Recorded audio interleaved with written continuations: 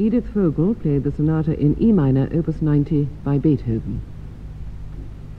The other work in her Radio 3 lunchtime recital is the sonata in C minor, Deutsch number 958, by Schubert. This is the first of the three great sonatas Schubert completed in September 1828, just two months before his death at the age of 31. We shall be hearing the other two sonatas during the course of this series of concerts. They were his last instrumental works, and his only sonatas written after the death of Beethoven.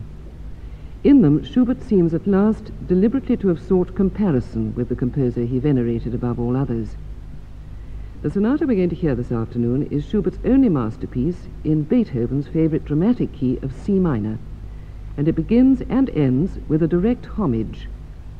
The opening bars evoke the theme of Beethoven's C minor piano variations, and the finale, like that of Beethoven's Sonata Opus 31 number 3, is in tarantella rhythm.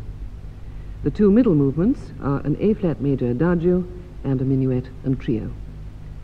So now let's welcome Edith Vogel back to the platform to play the sonata in C minor by Schubert.